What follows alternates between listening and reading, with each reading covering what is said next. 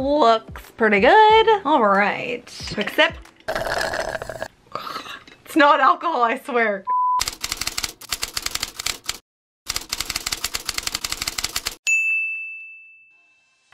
Friends, what's up? Welcome back to my channel. I hope that wherever you are, wherever that is in this huge world, you are healthy, safe, and sane in this quarantine situation, if you are still quarantined, because I think some people are now back out in the free world. Not really sure what's going on, but regardless of all of that, I hope that you are doing well because I'm so excited about the response that you guys had to my two-part story time, best and worst celeb experiences. Honestly, it was just a collection of stories from my 15 year career as an entertainment news reporter and producer. So since you guys loved that, shall I call it a mini series so much, I thought what the heck, let's do it again. Today I thought it would be fun to fill you guys in on all of the many celebs that I interviewed before they were famous. So as you guys know, if you've been following me for a while, I used to work at a place called Clevver, which is huge on YouTube. And I was actually one of the people that started the company 12 years ago in a garage, but that's a whole other story. So that being said, if you think about some of the most famous people in Hollywood, in the music world,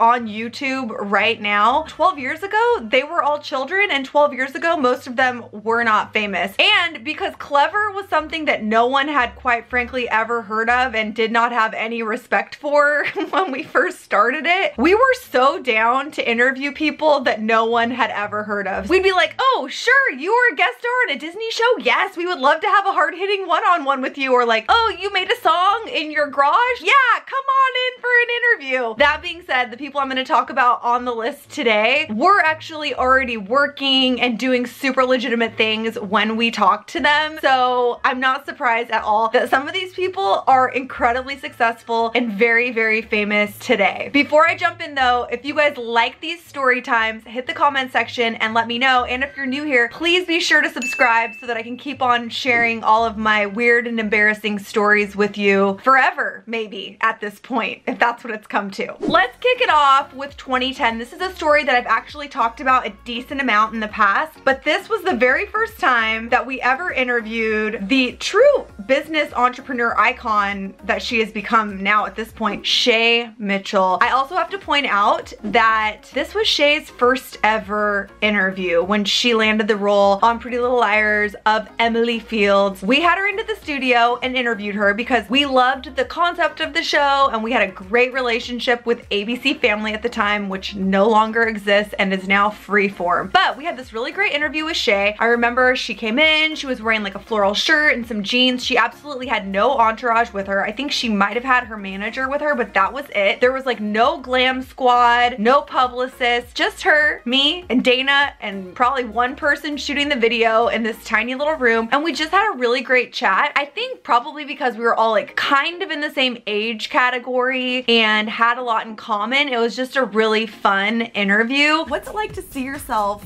in a 20 foot poster or billboard?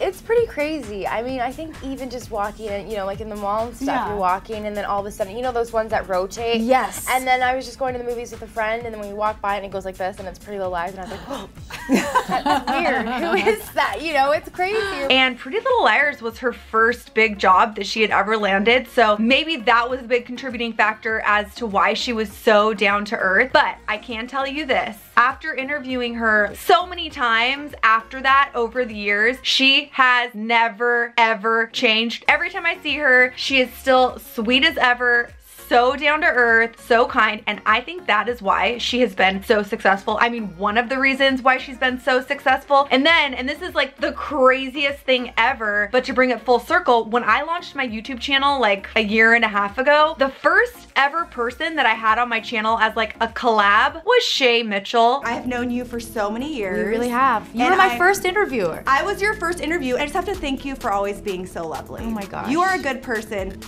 big things are coming. I gotta say that Shay was super, super sweet before she was famous and flash forward now 10 years, gosh, that was in 2010 when we met her. She is still just as kind. So just evidence that great people do exist in this world. Oh my gosh. Up next, we have got to talk about just the ongoing relationship that we had and still have with Bailee Madison. Do you guys know Bailee Madison? I'm sure that you do because at this point, she has been on so many TV shows and in so many movies. I feel like she should put out an album soon because she's really talented with music as well. But we interviewed her for the first time, I wanna say back in 2009. I very vividly remember interviewing her at a red carpet. It was not even for Clevver. It was for another outlet called Hollywood TV that I was working for at the time. I do remember incredibly vividly interviewing this absolutely adorable little girl, which is wild because now she's like a full-blown adult woman. It's been so fun to watch her grow up. But at the time, she was really well known for doing film work. She was in the movie Brothers, which was like, think Oscar nominated, starring Jake Gyllenhaal. And she was so memorable because her dramatic acting skills at such a young age were through the roof. And I remember after that, once we had started Clevver, having her come into the studio and she was just like the most likable kid I had ever met in my life. When the cameras were not rolling, she was like, let's have a dance party. Let's hang out. Let's have fun. I felt like I was babysitting the coolest kid I had ever met that I want to be friends with. And then flash forward, we followed her career for like every single move she made. She was on Wizards of Waverly Place, which was so, so fun for her because I think she was actually a fan of the show because she was a kid at the time, without a doubt. Just like Shay Mitchell never showed up with an entourage. In fact, I think she was always with her mom. She has an amazing mom, which I think is also the reason why she is a golden human being. She just has the best people around her. And then she would also have her publicist, Chris Rossi, who was an absolute legend and icon. He used to bring all of the celebrities to Clevver in those early days. I just have so many great memories from her. And I do think that in our lifetime, she will, if she wants to, go on to become like the next Meryl Streep. Oh my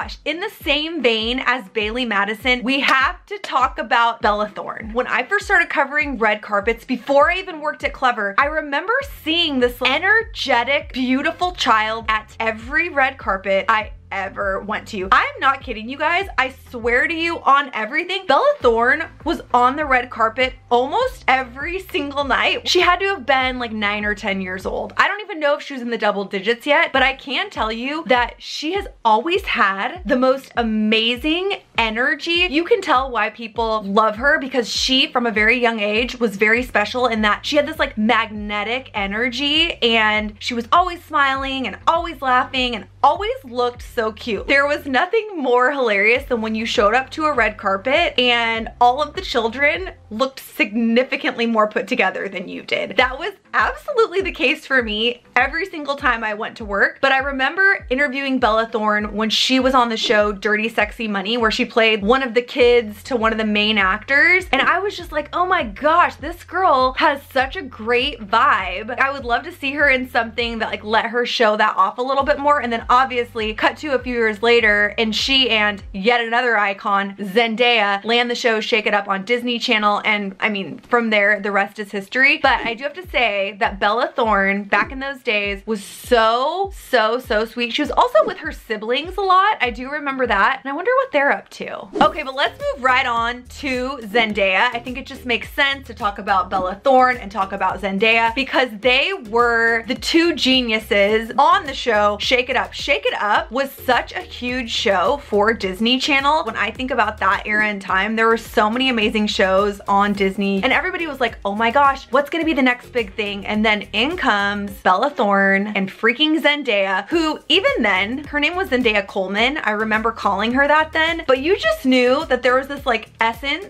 surrounding her where she was like a one name person. There's like Cher, Madonna, Beyonce, and now we have Zendaya. And I can say from being around her and her presence, she has this like quiet yet beautiful strength and power. And she's always had that. Even from the time she was a kid she came to the Clevver tv studio for the first time when i want to say she was about 13 or 14 and again no entourage. One of her parents was always with her and i think during that time her dad was with her a lot. And they were just like so adorable. They had the cutest relationship. You could tell he was really looking out for her and making sure that she was still just like a good kid and that it wasn't all going to her head. And it was was so fun to watch her really have such a wild breakout from that show. She went on to sign a record deal and go on tour and she had that song, I think it was called Put That Song on Replay, mm-hmm, something like that. It was such a jam. I still have it on my computer. I remember seeing her on red carpets so many times after that because she is a tall woman. She has such an amazing presence and I love that she doesn't shy away from that. She's always really owned who she is and there's just so much strength and confidence in what she stands for. And again, I think that's why she has such a like strong magnetism around her that you could see even when she was a kid. It was super obvious. Like so many of the people I've already talked about, I think another reason that she has managed to have such a long career, even at her young age, is that she has good people around her. Her parents are awesome people. They're always with her. And she was just like a really, really cute kid. I have this picture that is so cute and it's of me and Bella Thorne and Zendaya and I look like I'm like their nanny or something. It's Zendaya and Bella. Ladies, Those two are actresses, singers, triple threats, whatever you want to call them, that I think will go absolutely as far as they want to in the business world because they've always had that charisma and just that like sweet spirit that I think is so important. Oh yes, and then Fifth Harmony, who I did kind of already talk about a little bit in my first story time. We did have the first ever interview with them when they became a group. It was a Google Hangout. Like I talk about in the other video, which I will link to in the info section below, setting up that interview just from a technology standpoint was a massive, massive mess. But we went on to do this hangout with them live, which is on YouTube still. You can go watch it for like 45 minutes and it was really, really fun. None of them were famous. I mean, they were kind of famous because they had been on reality TV, but like no one knew who Camila Cabello was. No one knew who Lauren Jauregui was. No one knew who Normani was. Like you get the point. Now, all five of them are household names in and of themselves, but at the time, Fifth Harmony was like, oh yeah, those like cute girls who were on the reality TV show X Factor. Oh yeah, they're cool, but like they absolutely were not being stalked by paparazzi. They could still go outside. They were all living with their parents. Like it was a totally different time and place. And from there, I did go on to interview them so many times over the years. And also what I want to say is that to me, they were always kind. They would always give a hug. They would always greet me with so much energy and love. And that was always the case. They never ever changed. Even though, you know, whatever they might have been going through as a group, I always had the best experience with them. And I have so many fun memories. One of my all-time favorite memories with Fifth Harmony was I was at this event and I was backstage and they popped in to do an interview and I had come up with this like really weird game called Truth or Dance where you either had to answer a really juicy question, aka the truth, or you had to do a dance. And I think almost all of them decided to like do the truth and the dance because the dancing was so fun. And then Camila doing, I can't remember what dance move she was doing, ended up like going viral on Vine at the time. But that was just like indicative of who they were. They were super famous by that point, but they were still just like teenage girls or like girls in their early 20s trying to have a good time and enjoy life. And that's always the vibe that I got from them. So I'm absolutely not surprised at all that each of them individually has had so much success. I think this is just the tip of the iceberg. I think we're gonna see so much more from all of them and I'm here for it. Oh, this is one of my favorites. So Glee was one of my favorite shows. I never missed an episode. When season one came out, I didn't even know about it and I ended up binging like 13 episodes in one weekend. So like you get the point. I loved, loved, Loved everything about the show. I had all of the music. So when Grant Gustin joined this show, I think his character's name was like Sebastian or something. Do you guys remember him on the show? When he joined the show, he made such a splash with his character. And I remember being like, oh my gosh, Dana, we have got to get this guy in because I swear to you, he is going to be super famous. He's so talented. He can sing, he can dance, he can act. He's obviously looks like a Ken doll. Anywho, I can't remember how we reached out to him because at the time, time, he was not very well known. He did not have a publicist. He might have had an agent or a manager. Honestly, I might have even reached out to him just by like sliding into his DMs on Twitter and being like, hey, do you want to come on our show? Whatever the case was, he ended up coming in by himself. He had no people with him whatsoever. It was me and Dana and Grant Gustin. We had a great interview with him. He was so sweet, so cool, so down to earth, and also, side note, very grateful for the opportunity to be on a show like Glee and be able to come in and do an interview. And that's not always the vibe that you would get. Some people like doing press and stuff felt like a job for them. And then other people were just like, you could tell still really excited to have any opportunity. And that was definitely the case for him. After he left, we were just like, wow, he is gonna be a star. Cut to a few years later and he is the star of Flash on the CW which ends up becoming this huge, huge, huge thing. It shot in Canada so unfortunately we were never able to make it up to the set to do any interviews or anything like that. But I'll never forget I was at the Golden Globes and this might have been the year that the Flash really blew up and I had like the worst place. I mean even though Clevver was big by that point we were still on the internet so we were at the Golden Globes and I was placed right behind a pole like no one could even see me. No one even knew I was there. And I remember like catching the eye of Grant and he saw me and I was like, oh my gosh, because I had interviewed like literally zero people because no one could even see that a reporter was standing behind this pole. So Grant comes over, we have a great interview. So excited for him that he was so successful at that point and had this show that was like the hottest thing on TV. I mean, hello, he was at the Golden Globes. And I just remember being so grateful that A, someone finally talked to me at the Globes because because no one could even see me. And B, I always loved and was so impressed with the people that we had on Clevver before they were famous. And then when they did become ultra famous, the fact that they would still make the time to talk to us, I just thought was like so classy and so cool and so awesome and something that I have always really appreciated and respected. And he's one of the good ones. He's gonna be an even bigger star. Mark my words. Up next, oh, Yes, R5. So R5, I have to say, is no longer together as a band. They are still a family, but they are no longer a band at this point. However, the reason that I'm putting them on this list is because when I interviewed them, they were definitely not famous.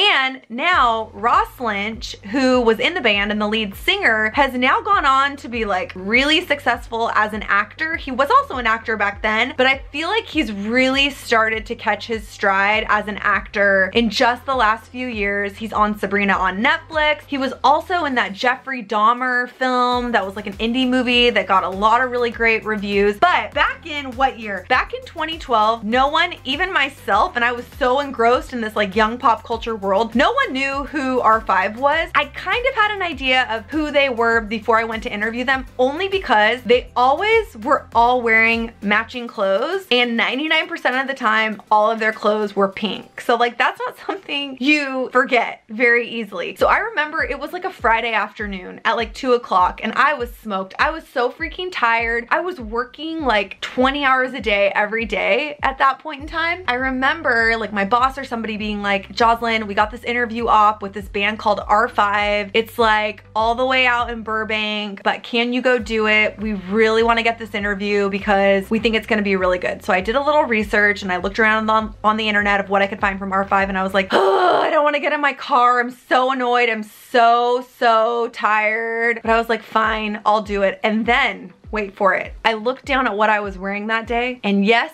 I did have on a pink shirt and I felt like it was the universe aligning and telling me that I should go interview this family band called R5. So I boogie on over to Radio Disney, which is where the band was hanging out for the day. And I met this band of five members all of whom had names that started with the letter R. I was immediately so confused. I was like, wait, who is who? What's going on? Also, almost everybody had their hair bleached blonde at the time, or at least half of them. Very confusing. Anyways, that was just the beginning of what went on to be like this very long relationship that I had with R5. I still follow all of them and I've seen Rydel around a bunch. But years later, I actually went on to like essentially stalk them for six months because I produced this little mini series going on on the road with them. I was not in the show at all, but I basically went on tour with them and got to see what their life was like behind the scenes when they were kind of at their peak as a band. I was so impressed with them. I've been impressed with them since day one. The very first time I met them at Radio Disney, they were all so kind. I think maybe their mom was there who you can tell is just like the leader of the pack. She is the reason that all of them are so sweet and lovely and she's so encouraging. And I remember asking her like, why did you name all of your kids to have like the same first letter of their name, are. And she said, I wanted my kids to always feel like they were already on a team, like they were already a part of something, like they were already included. That's something I've never forgotten. It's obviously really stuck with me. And I think that's just what everybody wants is to be a part of something. And they definitely were. And even though the band is not together, a lot of them are still collaborating on things. They're obviously very much still a very tight-knit family. I'm super, super excited to see what all of them do. Rydel's actually on YouTube now with her fiance. Congratulations, girl. It's just been fun to see their careers as a group back then and also as individuals really burgeon and grow because they haven't changed either. Like even with fame, they've always still had time for the little people like myself.